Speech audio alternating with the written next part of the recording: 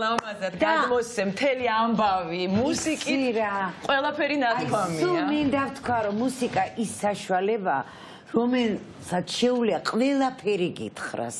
ყველაფერზე გელაპარაკოს და აი საოცრებაა და კიდევ ერთხელ ვიტყვი რომ ქართული მუსიკა არის ისეთი ევროპული და თუ ვინმე მაკლია ამ დღეებში, აი ამ ბოლო დღეებში, ვის სიტყვაც მაკლია, ეს არის გია ყანჩი. მეგობარი მწერს ეხა უსმენო ნიკას დაკლულს და ამ ყველაფრის მე ესეთი ემოციურია ცრემლი წამომივიდა. ნამდვილად, ნამდვილად და ეს არის ეს არის მართლა ისტორია იყო, აი ისტორია იყო. მოყოლილი აი ამ ჩვენი ქვეყნის და ყველაფრის. მინდა გია სადაც არის იქ იცოდეს რომ ჩვენ ყოველთვის ის ჩვენს გვერდით არის და მუსიკა ჩვენს გვერდით არის. მოგესალმებით და ველოდებოდით ლიზა ბათიაშვილს, მაგრამ ის არის აეროპორტში და რაღაცა ფრენა გადაიდო, აცილებს ორკესტრს და მთელი გულით და მთელი სულით ჩვენთან არის და ჩვენ შევახსენოთ ჩვენს მაყურებელს რომ გუშინ ოპერისა და ბალეტის თეატრში გამართა ბერლინ ფილარმონიკის კონცერტი რომელიც სადაც მონაწილეობას იღებდა ლიზა ბათიაშვილი და გავრცელდა სოციალურ ქსელში არაჩვეულებრივი კადრები სადაც სპექტაკლის კონცერტის შემდეგ ჩვენი მეგობარი ლაშა ბუღაძე ევროკავშირის დროშით თავის ავტორო ხმით. თავის ავტორო ხმით ასე ვთქვათ წამოიმართა სიმბოლურია ოპერის თეატრში და აყვა მას პუბლიკა მაყურებელი და ეს იყო ძალიან გულის ამაჩუყებელი და კიდევ ერთხელ იმის დასტური რომ საქართველოს არის ევროპაში. აი ამ დღეებში. და მანამდეც უკაცრავად შეგაწყვეტინებთ ორკესტრანტები იმყოფებოდნენ აქციაზე კონცერტის შემდეგ ესეც აუცილებლად უნდა აღნიშნოთ წინა დღესაც იყვნენ და იცი რა აი საოცარი მომენტია რომ აი ასეთ დროს, როდესაც გარეთ იყვნენ ამდენი ესეთი მიტინგი იყო, ამდენი ახალგაზრდა ლამაზი, ბიჭიერი, ფერადი შუაგულ რუსთაველზე კონსერვატორ იმაში ოპერაში სოფლიოში ერთ-ერთი უდიდესი ორკესტრი უკრავდა ბეთჰოვენს, უკრავდა ბრამს და ასევე უკრავდა სულხან ცინცაძეს და ნამდვილად ლიზა პათიაშვილს ხა ჩემგან არ ჭირდება არავისგან მაგრამ ქება კარგი რამეა ეს იყო მისი დამსახურება რომ ის ორკესტრი ჩამოვიდა ასე დროს და ის არის ჩვენი ქვეყნის პატრიოტი. მაშინ როდესაც ხმას ვერავენ ვერ იღებდა ლიზა იყო ხმალა მოღებული და რა ვიცი მოდი და ბედნიერი ვიყავი რომ ის სულხან ციცაცის სამი მინიატურა იყო ნიკოლოზ რაჭველის გაორკესტრებული. და ეს თვითონ ლიზამაც ბევრი მადლობა გადაუხადა და ეს იყო ძალიან მნიშვნელოვანი და საოცრება ის არის რომ აი ამ ბუმბერას კომპოზიტორებში სუხანი ისე ჩაეწერა და ისეთი ევროპული მუსიკა იყო და ისეთი გაორკესტრებული იყო რომ არ ვიცი ნიკა მიყვარხარ ეს იცის სრულიად საქართველოს მინდა გიხთხრა უყვარხარ იმ ახალგაზრდებს რომლებიც გარეთ არიან. და სულ ელოდებიან რომ შენ ვიცი რომ სულ ხარ მიტინგზე ჩემგან განსხვავებით რომ მე ვერ დავდივარ და სულ გეფერებიან. ეს არის ყველაზე მნიშვნელოვანი და კიდევ ერთ დავამატებ მე მადლობა მინდა თითოეული מחალგაზრდას უთხრა იცირისთვის რომ მე დამიბრუნა სილაღე სიხალისე მე რომელიც საერთოდ ყველა მეც ძალიან მხიარული ადამიანი ვარ მაგრამ მქონდა ეს რაღაცა ნიჰილიზმი აღარ მჯეროდა არაფრის. აი ეს ყველაფერი ჩემნაირ ადამიანებსაც დაუბრუნა და მთელ საქართველოს დაუბრუნეს იმათ აი ეს რაღაცა საოცარი სიყვარული. კი მე საოცარი სიყვარული. იკა გისმე. აა მოგესალმებით. რთულ დროში ვართ ნამდვილად მაგრამ პირველ რიგში ვისაუბრებ ბერლინ ფილარმონიკის ისტორიულ გასტროლზე იმიტომ რომ აი ესეთი ძალიან მნიშვნელოვანი მომენტი. ასეთი ეგზისტენციალური პროცესია საქართველოსში და შესაბამისად კულტურული მოვლენის ბოლომდე გასააზრებლად აღარ გრჩება არავის რესურსი ემოციური და გონებრივი. ამიტომ ეხლა რაღაც რამდენიმე წუთის განმავლობაში ალხსნი. ბერლინის ფილარმონიული ორკესტრი, რომელიც 140 წელზე მეტი არსებობს და ალბათ მე-20 საუკუნის დასაწყისიდანვე გამოკვეთილად ის არის ნომერ პირველი ორკესტრი მთელ დედამიწაზე და მასზე სწორდება ყველა დანარჩენი ევროპულიც, ამერიკულიც, ქართულიც, ფრანგულიც, აი ყველა იაპონურიც, აი ყველასთვის ითვლება რომ აი ეს არის ის მაგალითი, როგორიც უნდა იყოს ორკესტრი. თამასა. თამასა არის უმაღლესი. უმაღლესი 6 ჩელი. მათი მათი პირველი კონცერტი შედგა 1 მაისს, ამიტომ 1 მაისი ითვლება მათ დაბადების დღედ და რაღაც გარკვეული აწლეულების წინ დაარსდა ტრადიცია ევროპა კონცერტი ქვია ამ ტრადიციას, როდესაც ისინი ევროპის სხვადასხვა დედაქალაქში აღნიშნავენ დაბადების დღეს და ატარებენ ევროპა კონცერტს. და შესაბამისად ეს მე გადაიცემა სტრიმინგით მსოფლიოს ყველა ქვეყანაში, ოც თვეში იმ ქვეყნებში, სადაც დემოკრატია არის, როგორც მინიმუმ. და ესე ვთქვათ, კლასიკური მუსიკის მოყვარულების ყურადღების ცენტრში ხდება ის ქალაქი და ის ქვეყანა, რომელშიც 1 მაისს ჩადის ბერლინის ფილარმონიული ორკესტრი. და რა თქმა უნდა ლიზა ბათიაშვილი რომელიც არის ამ ორკესტრის წელს რეზიდენტ სოლისტი ანუ პრივილეგირებული სტუმარი რომელიც წლის მანძილზე ბევრ კონცერტს მათთან ერთად მართავს. თუმცა ლიზა უკვე რა ვიცი 15-20 წელია მათთან ერთად გამოდის მაგრამ ეს სტატუსია უკვე რომელიც მიენიჭება ხოლმე ну ძალიან იშვიათი მოვლენა ანუ უდიდეს და ასევე ნომერ პირველ არტისტებს ენიჭებათ ყოველწლიურად რეზიდენტ სოლისტის სტატუსი და წელს არის ლიზას წელი ბერლინის ფილარმონიაში და ლიზასვე ჩანაფიქრი იყო და მისი დიდი სურვილი რომ ერთ-ერთი პირველი მაისი სწორედ აღნიშნულიყო და ესეთი ინსტიტუცია ასეთი ღონისძიებისთვის თვეებით კი არა წლებით ადრე ებზადება და ეს იგეგმება. ასე იყო ამჯერადაც დაიგეგმა 2024 წელი შარშან უნდა ჩასულიყო უკრაინაში ორკესტრი მაგრამ უსაფრთხო უკრაინის ეს თქვა შეთანხმება შედგა რომ ვერ ჩავიდოდნენ ვინაიდან არ იყო დაცული სრული უსაფრთხოება ამ ინსტიტუციის. და წელს რა თქმა უნდა, როდესაც დაიწყო ეს არეულობა, რომელიც მოყვა კანონის შემოbrunებას და აი საპროტესტო ტალღას, ბერლინის ფილარმონიულმა ორკესტრმა ინერვიულა ბუნებრივია, მაგრამ პრესკონფერენციაზე გვითხრეს თვითონ მუსიკოსებმა, ბორდის წევრებმა, რომ ლიზას პატივისცემა და მის დამინდობა იყო იმდენად მაღალი და ამავდროულად თვითონ ორკესტრის სურვილი, რომ საქართველოსი ჩამოსულიყვნენ მით უფრო ისე დროს, როდესაც საქართველოს კანდიდატის სტატუსი აქვს და ნებისმიერი ევროპული მხარდაჭერა მით უმეტეს ასეთი ტიპის არის ერთ-ერთი კიდევ დამატებითი ნაბიჯი ამ პროცესში, მათ ეს მაინც გაბედეს და ნუ ძალიან დაცული ისიც მათი უსაფრთხოება არის ნომერ პირველი. მათ აქციაზე აღმოჩნდნენ საფუაშუაგულში. ჩამოვიდნენ წინანდალში იყო ევროპა კონცერტი, რაღაც სასწაულად ჩაიარა ამ საღამომ წინანდლიდან, გადაიცა მთელს ქვეყანაში და აქვე მათ გაიმეორეს თბილისში ოპერის თეატრში კონცერტი. აი სწორედ სფერო ამბობს. ეს გამონაკლისი იყო, რო ხო, არასდროს არ იმეორებენ არც ერთ ქვეყანაში ეს ყოველთვის არის ერთი. და ეს ის შემთხვევაა რომ ასე საქართველოს სიყვარულით ლიზას სიყვარულით და იმ პროცესების გააზრებით ბერლინის ფილარმონიკი დათანხმდა რომ მეორეთაც დაეკრა რომ მეტ მსმენელს ქონოდა საშუალება დასწრების. სოლისტის სურვილით შესრულებული ნაწარმოებიც არასდროს არ გამიგია. კი თვითონ ბერლინის ფილარმონიკა აქაც პირველად მოხდა რომ დაინტერესდა და თქვა რომ ჩვენ დაუკრავთ ქართულ მუსიკას.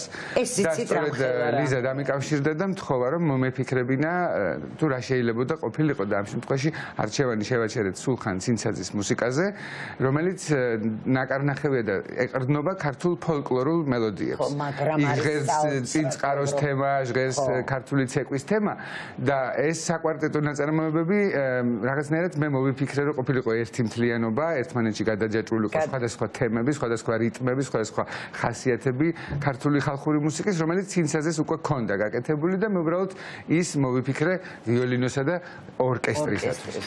და რა თქმა უნდა, ძალიან დიდი სიამაყე იყო, მე გავიზარდე ბერლინის ფილარმონიული ორკესტრის ჩანაწერებზე, კარაიანის და ამაზე და წარმოგიდგენთ ისინი რომ უკრავდნენ ერთ-ერთი მხარდაჭერა არის მათი ამ ყველაფერზე, რა დღეს ჩვენს ქვეყანაში ხდება, ის რომ ისინი ცინცაძეს ასრულებენ, ეს არის ძალიან დიდი საქმე. ქართული მუსიკის შესრულება იყო მათი მხრიდან წარმოუდგენლად დიდი ჟესტი.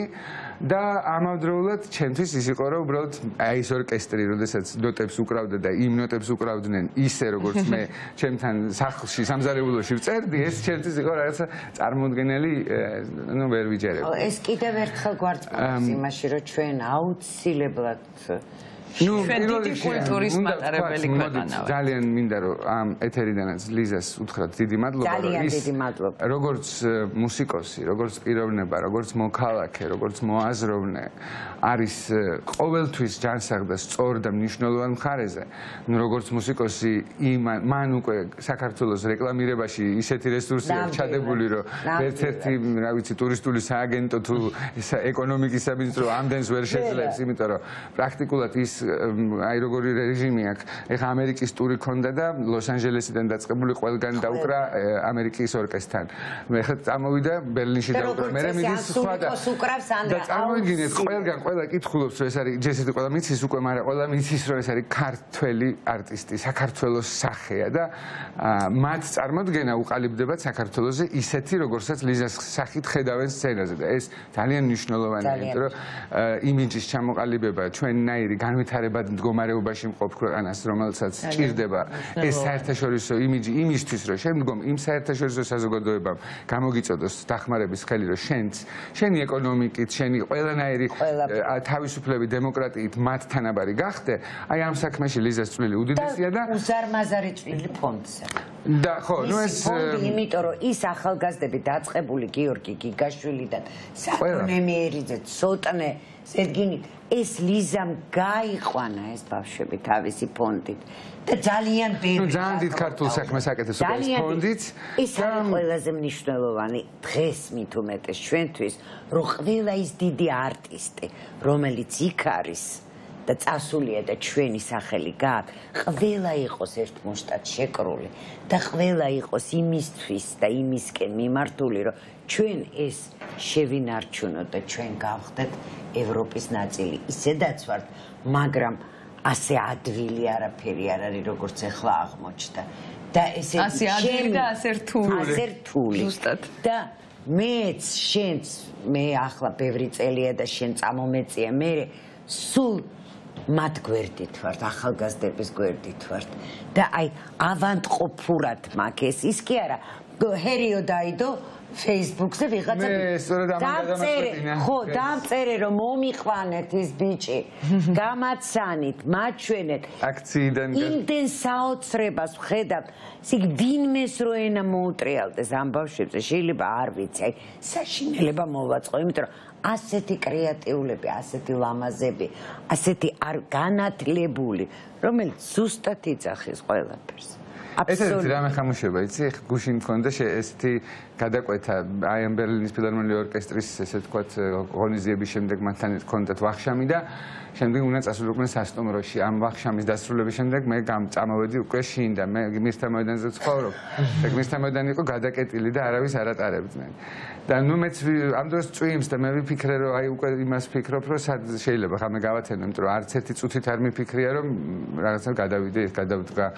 ჯერ და რაღაც აი ამ ჩანაფიქს შეუშალო ხელი მაგრამ თვითონ შემამჩნიეს ამ ახალგაზრდებმა მანქანაში. რაღაცნაირად დამინახეს და წამოვიდნენ ჩემსკენ და რაღაცა მომიბოდიშეს რომ ძალიან გვინდაო რომ გაგატაროთ მაგრამ არავის ყოველას უარს ვეუბნებითო და თქვენ არ შეგიძლიათო რომ რაღაცა შემოვლითი გზით წახვიდეთო ბატონონიკაო ცოტა ბატონონიკა არ მომეწონა ხო და მე ვთხარი რომ თქვენ ოღონდ არ შეწუხდეთ გააგრძელეთ ყველაფერი თქო პირიქით მეც მზად თუ არ ხა გადმოვიდეთ თქვენთან ერთად ვიყო უბრალოდ მე აქ ვცხოვრობ ამ სახლში და უბრალოდ სხვა გზა არ არსებობს.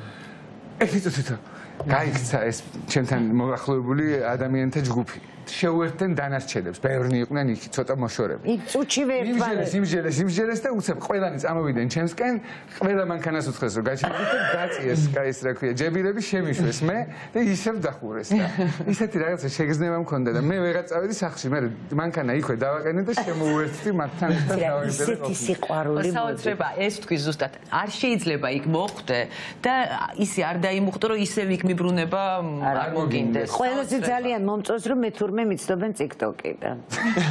ამას სულთად გადამრი. მე არ მაგდა, ეთქობა იქ იდება რაღაცები და მე უკვე დრო არა შენ უნდა გქონდეს TikTok-ი. არ ვიცი, ვინც კი ხელს აღმართავს ამ ბავშვებზე და საერთოდ ძალიან მინდა მივმართო ხელისუფლებას. აი ეს ავიღო და მივმართო რა. დაგვანებონ თავი. და იცი რა არ შეიძლება ამ ბავშვებს ზეწოლა არ შეიძლება ამათ ის კი არა რომ ავნო გაუბრაზდე კიდევაც ნუ მიიღებენ ამ კანონს და აღმოჩნდა რომ ძალიან ლაღები ვართ ძალიან სიყვარულით სავსეები ვართ ვიღარც ბოტი გვეწევა ვიღარც ტროლი გვეწევა ვერ დაგვეწევა და ნუ თუ უღირთ. აი იმათ რომ არ ვიცი. მე არ ვიცი ხახნო ეგებ მიშველო სანდრო პოლიტიკოსი ხარ უკვე. და მითხარი რამე.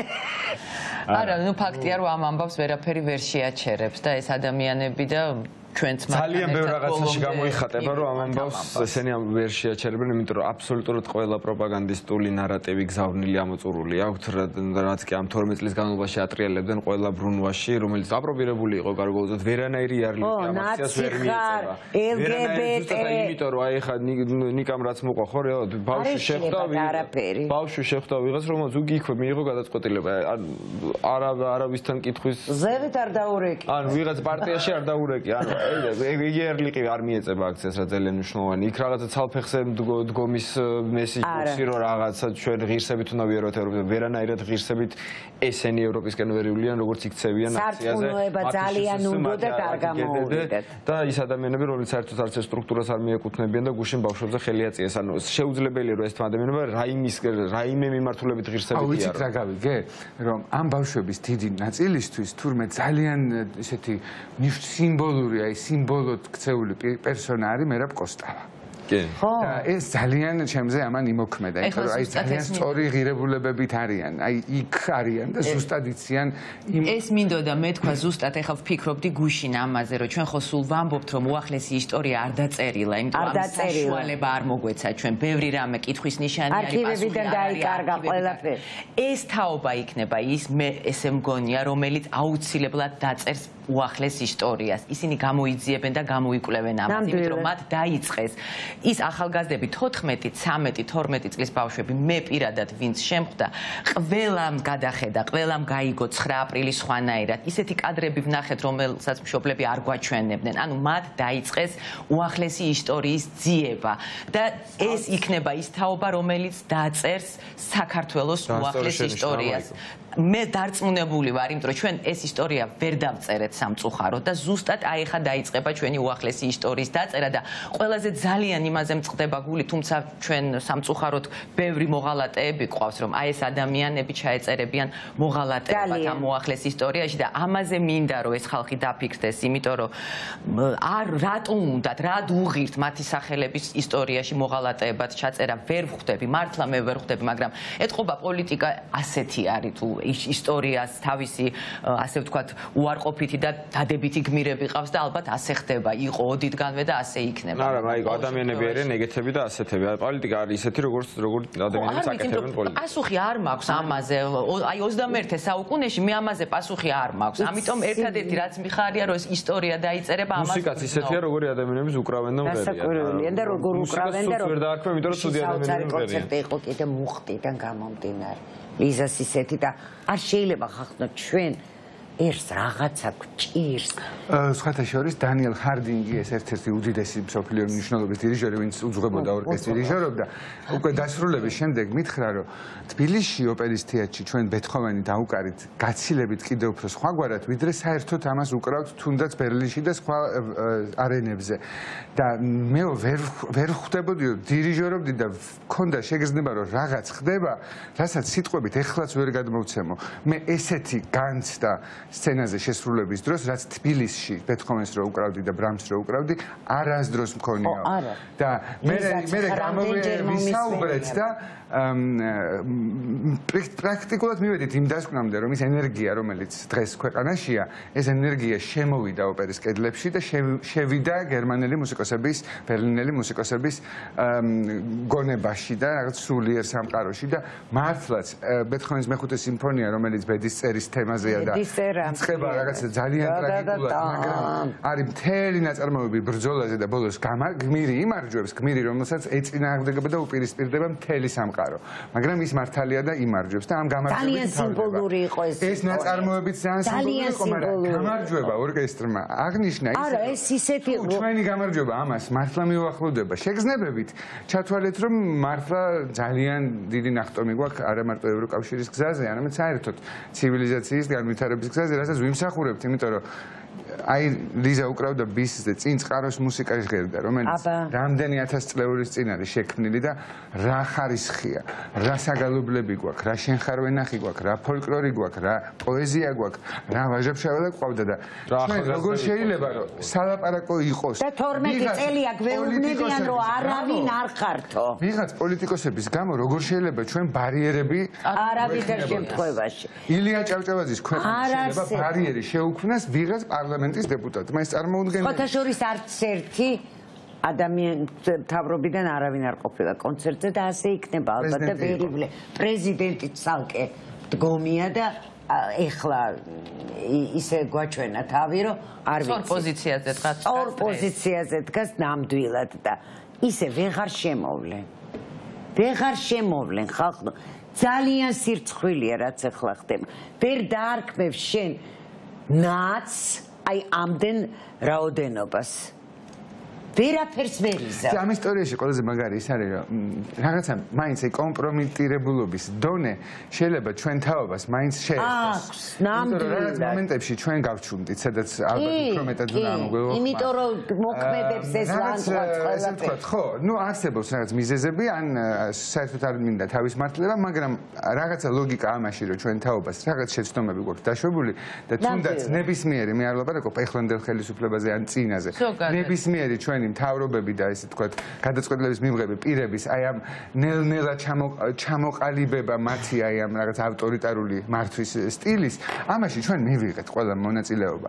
და აი სწორედ ის არის ბედნიერება რომ ეს ახალგაზრდები ვინც ახლა ამ ყველაფერს აპროტესტებენ და დგანან ევროპის გზაზე მათ მათ აი ამისგან არიან დაცილები და ძალიან სუფთები არიან. და აი ამ სისუფთავის შენარჩუნებას ვოცნებობ და ასეც მგონია რომ იქნება რა თქმა უნდა. აუცილებლად და ჩვენ წამოვისვით სხვადასხვა არა მარტო მთავრობის მხარე.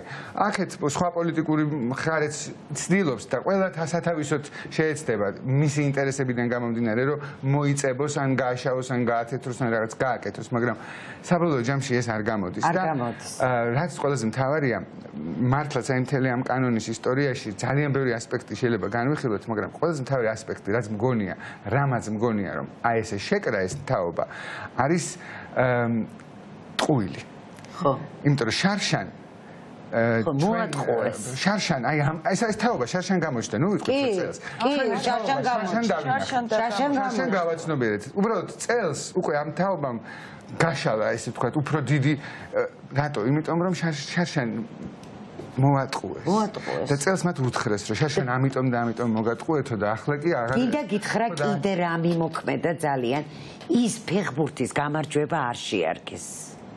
და უცბად აი ეს ბავშვები ყველანი იქ მოედანზე რო იყვნენ აი მაშინ როცა ფეხბურთი დამთავრდა და ველოდებოდნენ დააბრალეს რომ იქო ნაცებმა უკარნახესო და იმიტომ იქცეოდა და ამაზე სუნთლად გადაირი. ჩემი ოპერატორი მეუბნება გუშინწინ სტენვეიში ჩაწერაზე 8 წლის ვიყავიო ეს 9 წელი რომ მორჩაო. და თან ვითვლი რამდენი წლის ახარ შვილო ფიქრობ ღმერთო კი მომკარი და ისო არ ვიციო და ესო არ მომწონსო. დღეც ვიდგებიო ღამეც ვიდგებიო და სულ ვიდგებიო ჩემი კამერითო და ვიქნები იქაო. ეს ბავშვები ვერ იტანენ ტყუილს კი ხო ან ძალიან დიდი მადლობა. ძალიან დიდი მადლობა. ეს ბავშვები ვერ იტანენ ტყუილს, ამ ბავშვებმა დადეს ფიცი, ფიცი ერთობის, რომელსაც კიდევ ერთხელ გავიგებთ. ყველაზე ძალიან გჭირდება. ყველაზე მნიშვნელოვანი არის და ყველაზე ძალიან გჭირდება. ყველაზე ვერ იტაnen რუსეთს სინამდვილეში, სადაც ტყუილს ტყუილს. კი, ნიკას უნდა კიდე რაღაცა გაამატოს. და ბავშვებს აი ამ ახალგაზრდებს უთხრა რომ 11 მაისს ექსპო ჯორჯიას ტერიტორიაზე დილის 11 საათიდან ევროკავშირის საელჩო ხსნის პავილიონს, სადაც იქნება გამოფენილი და ნაჩვენები ყველა ის სიკეთეები, რომელიც აქამდე სწორედ ევროკავშირმა და მისმა ქვეყნებმა საქართველოს მოუტანა და ასევე ის იმ საუბარი იქნება იმ მომავალზეც, რომელიც ჩვენ კანდიდატის სტატუსიდან მოლაპარაკების პროცესამდე მიგვიყვანს და შემდგომ ღირსეულ გაწევრიანებამდე. ამიტომ 11-ში ვიცი რომ აქცია დაანონსებული კარგი ვფიქრობ რომ დილას არის ეგა 11 საათზე 11 საათზე 11-ში 11 საათზე. იქ უნდა მივიდეთ. აუცილებლად და მე უნდა შევუდგეთ ჩვენი პატივისცემა და მხარდაჭერის ბადლიერება ევროკავშირის საელჩოს და იქ იქნება ცხადია ამ დროს ყველა წარმომადგენელი დიპლომატიური კორპუსის ელჩები და გამიხარდება თუ რაღაცნაირად ყველა იქაც იქნებიან ეს ადამიანები და შემდგომ ყველა გადაინაცვლებს უკვე აქციას. ძალიან კარგი 11 საათზე 11 მაისს და 11 მაისსვე არის ძალიან აი ესეთი ციფელი პარასკევია დღეს და მიმიხარია რომ ჩვენი კოკა-კოლა ჩვენთან ერთად. არის როგორც მინდა ალბათ ეთერში უკვე უფრო მეერე მოხვდები თქვენთან და წინასწარ აღდგომა მოგილოცოთ ეს უდიდესი დასასწაული აღდგომა. მართლა განსაკუთრებული აღდგომა და აი პირად შესაბამისი იყო მძიმე პირა იყო განსაკუთრებული აღდგომა იყო და მინდა ყველას ვუსურვო ბევრი სიკეთე ჯანმრთელობა დღეგრძელობა და ქართული ნამდვილი და სწორი გზის გამარჯვებამდე მიყვანა დაგემშვიდობებით დიდი მადლობა მადლობა ნამდვილად მნიშვნელოვანი არის ახლა ნიკამ რა თქვა 11 მაისს გამოფენა იქნება ექსპო ჯორჯიაში და იმავე დღეს იქნება მასშტაბური აქცია მაგრამ სანამ 11 მაისამდე მივალთ ძალიან მნიშვნელოვანია ყოველთვის გადაცემის ბოლოს ამ დღეებში სულ ახსენებ რომ ებრძოლა არ არის ერთდღიანი ძალიან მნიშვნელოვანი და გადამწყვეტ ბრძოლაში ვართ შესულები და ეს ერთ საღამოს არ წყდება თუმცა მოვა ის საღამო როდესაც დასრულდება ჩვენი გამარჯვებით მაგრამ ამისათვის თანმიმდევრულები უნდა ვიყოთ, დისციპლინირებულები უნდა ვიყოთ და ყოველდღიურად უნდა ვაპროტესტოთ ის, რაც ხდება ჩვენს ქვეყანაში და დღეს ვიცი, რომ სასტუმრო პარაგრაფთან იგეგმება მსვლელობა, სადაც შეკრებილები იქნებიან ჩვენი პარტნიორები და უნდა გავაგონოთ მათ ჩვენი ხმა, თუ სად გვინდა ჩვენ აზიის განვითარების ბანკის ფორუმი არის, ასე ვთქვათ, რომელსაც ძალიან დიდი ინვესტიცია აქვს საქართველოს ჩადებული და ჩვენ ისინი ჩვენ ხარში გვიდგან, გუშინაც რომ ჩავიარეთ იქიდან გამოსულმა ადამიანებმა, ტაში დაგვიკრეს, ხელი დაგვიქნია გეპონიას და რაღაც გვაჩვენეს სოლიდარობა. დღეს იქნება შეკრება საღამოს რუსთაველზე და უნდა გავაგზავნოთ ყოველდღიურ რეჟიმში. და ძალიან შვიდობიანად და სიყვარულით ყველაფერს მივახთ. და ერთი კიდევ ისევ ამ ერთობას ვუბრუნდები, იმიტომ რომ ეს არის ჩემი ტკივილი, იმიტომ რომ ჩვენ მტერს თუ რამე აშინებს, ეს არის ერთ მუშტად შეკრული ქვეყანა. და მე სამწუხაროდ მომსწრევა რა აი ამ ერთ ერთობის ნგრევებს და ამით ის ბედნიერდება ხოლმე და მე მინდა საჭი როგორც ჩემს მეგობრებს, ჩემი შვილის ხელებს, არ ვიცი, როგორც ერთ-ერთი რიგითი მოქალაქის რჩევა და თხოვნა, რომ აი ეს ერთობა, რომელიც თქვენ გააქვთ და რომელიც ყველაზე ლამაზი საყურებელია და ამას უყურებს მთელი მსოფლიო და სწორედ ამით გამოირჩევა დღევანდელი აქციები, თქვენი ერთობით, თქვენი გვერდში დგომით, თქვენი ერთად დახმარებით. აი ეს ერთობა არასდროს, არასდროს არ დაარღვიოთ, იმიტომ რომ როგორც კი ერთობა ირღვევა, მტერი ხარობს. ამიტომ არ დაარღვიოთ ერთობა, ძალა ერთობაში. ძალა ერთობაშია. დაგემშვიდობებით. დაგემშვიდობებით. წინასწარ მინდა რომ აღდგომა მიულოცო ჩვენს ხალხს და მე დარწმუნებული ვარ რომ ნამდვილად რაღაცა ახალი ახალი პერიოდი იწყება ამ ქვეყნის ისტორიაში და ეს აუცილებლად ასე მოხდება. ეს განსაკუთრებული აღდგომა იქნება, ვიცი რომ რაღაცა იქნება კვირა დღეს და იმ ერთობით რომელზეც საუბრობდი, იმ ერთობით ვიქნებით თბილისის ქუჩებში და ისე მიულოცოთ ერთმანეთს აღდგომას. შვიდობიან, შვიდობიან და ბედნიერ აღდგომას გისურვებთ. დაგემშვიდობებით. Thank you.